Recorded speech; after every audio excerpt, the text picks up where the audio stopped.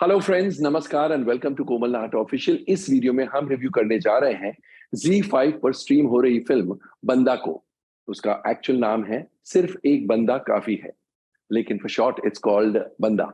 लेकिन सबसे पहले आपको याद दिलाना ज़रूरी है कि अगर आपने अभी तक हमारे चैनल को सब्सक्राइब ना किया हो तो इस वीडियो को देखने के बाद ज़रूर कीजिएगा।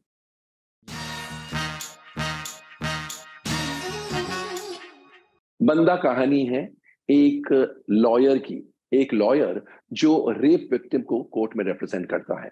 एक्चुअली एक बाबा है गॉडमैन है प्लेड बाय सूर्य मोहन कुलश्रेष्ठा उन्होंने एक नाबालिग लड़की का रेप किया है। That girl's character is played by Adrija Sinha अब वो लड़की के माँ बाप they are distressed distraught naturally क्या बीत रही है? उस लड़की पर रेप विक्टिम पर एंड उनके माँ बाप पर एंड गरीब घराने की लड़की है।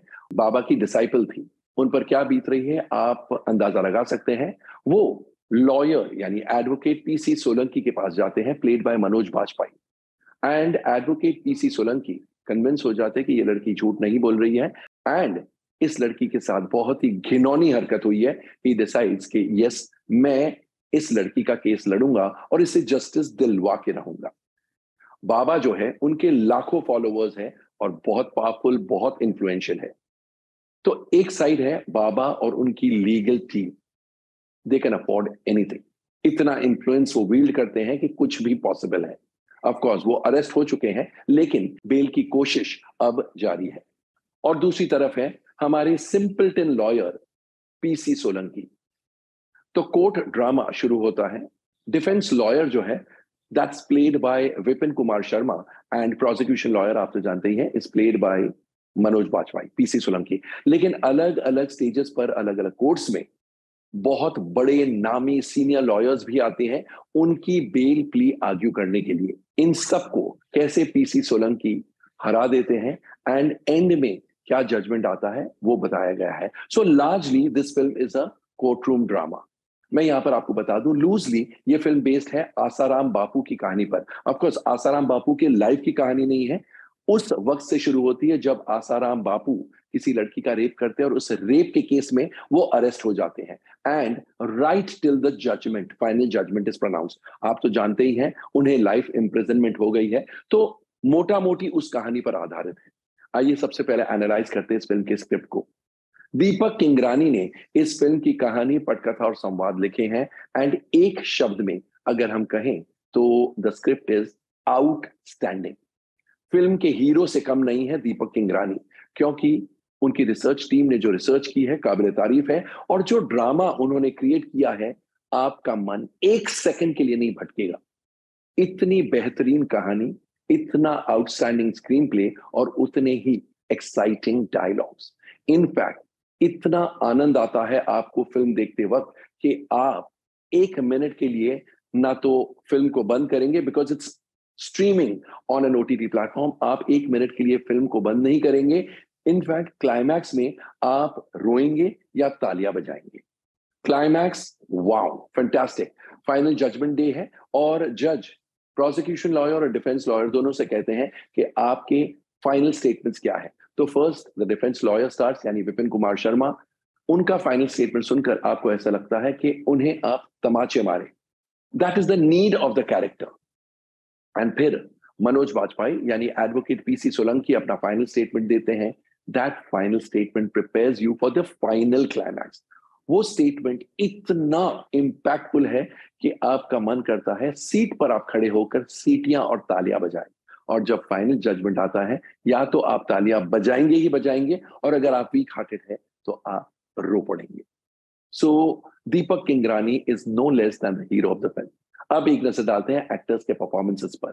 Manoj Bajpai everybody knows he is a fantastic actor लेकिन फिर भी you are in for a pleasant surprise क्योंकि इस फ़िल्म में जो उन्होंने एडवोकेट पीसी सोलंकी की भूमिका निभाई है आउटस्टैंडिंग आप सपने में भी नहीं सोच सकते हैं इस प्रकार की एक्टिंग कोई कर सकता था। लाजवाब आउटस्टैंडिंग फंटेस्टिक फंटेबुलस एक्स्ट्रॉर्डनरी जितनी तारीफ़ उनकी की जाए, उतनी कम है। You just fall in love with him और आप उनका फ्रस्ट्रेशन समझते हैं, उनकी एंजाइटी समझते हैं।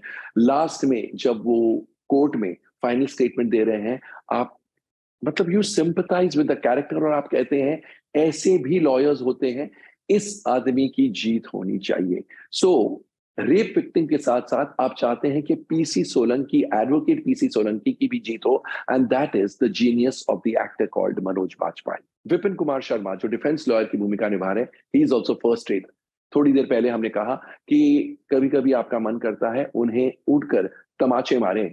Such is the power of his acting क्या एक्टिंग की है उन्होंने भी? अद्रीजा सिन्हा, जो रेप विक्टिम है वाह वॉट अ परफॉर्मेंस उनके लिए आपका दिल एक्चुअली रो उठता है। इखलक अहमद खान, जो जज की भूमिका निभा रहे हैं is first rate Jaihind Kumar and Durga Sharma as the father and mother of the rape victim जो एक्ट्रेस अद्रीजा सिन्हा है, उनके पेरेंट्स की भूमिका में आप देखेंगे जयहिंद कुमार और दुर्गा शर्मा को क्या सपोर्ट लैंड किया है। उनका फ्रस्ट्रेशन उनका दुख, उनका डिस्ट्रेस ये सब बहुत अच्छे से इन दोनों एक्टर्स ने कन्वे किया है। कौस्तव सिन्हा, जो पीसी सोलंकी के असिस्टेंट है, उनसे आपको मोहब्बत हो जाती है। सिंपल एक्टिंग लेकिन आपका दिल उनके लिए धड़कता है। दिल उनके काम पर जाता है। सूर्य मोहन कुलश्रेष्ठा एज बाबा। करने के लिए एक्टिंग वाइज उनको कुछ ज़्यादा नहीं है, लेकिन उनके एक्सप्रेशन उनका डिमीनर देखकर मज़ा आता है। बहुत अच्छी एक्टिंग की है उन्होंने। अभिजीत लाहिरी, बालाजी लक्ष्मी, नरसिम्हन एंड विजय टंडन। ये तीन सीनियर लॉयर्स हैं। मैंने कहा ना अलग अलग स्टेजेस पर सीनियर लॉयर्स भी आते हैं। इनकी एक्टिंग भी लाजवाब है। And Gauransh Sharma and Veena Mehta as PC Solanki's little son and mother respectively lend phenomenal support अगर मनोज बाजपेयी और राइटर दीपक किंगरानी फ़िल्म के हीरोज हैं तो डायरेक्टर अपूर्व सिंह कार्की कोई कम नहीं है। इनकी पहली फ़िल्म है बतौर director and he is a director to watch out for जो वो ड्रामा को बिल्डअप देते हैं, किसी सीन का जो बिल्डअप वो शूट करते हैं, ऐसा है कि आपके दिलों की धड़कनें इतनी तेज हो जाती है और इतनी ज़ोर से आपका दिल धड़कता है, आपको लगता है बाजू में जो बैठा इंसान है, वो शायद मेरे दिल की धड़कन सुन सकता है।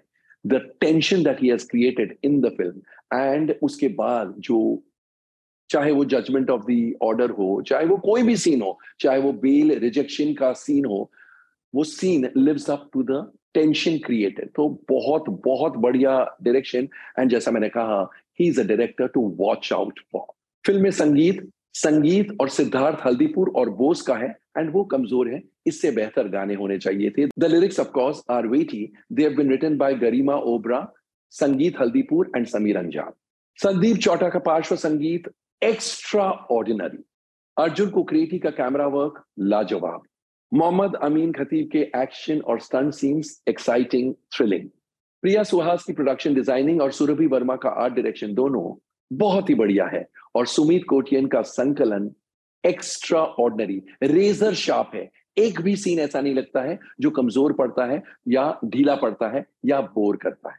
तो ओवरऑल बंदा या सिर्फ़ Ek Bandaa Kaafi Hai is a sure fire hit no question ये फ़िल्म बहुत बहुत अप्रिशिएट होगी एंड ये कहना गलत नहीं होगा कि ये जी फाइव की आज तक की सबसे बेहतरीन फ़िल्म है। तो दोस्तों, कैसा लगा हमारा review of Bandaa? Comment section में जाइए और अपने कमेंट ज़रूर पोस्ट कीजिएगा। और अगर आपने भी ये फ़िल्म देख डाली है, क्योंकि it has been streaming since the last two और थ्री डेज़ तो हमें ये भी बताइएगा आपके कमेंट्स द्वारा कि आपको फ़िल्म कैसी लगी। थैंक यू शुक्रिया। Take very good care of yourself and see you soon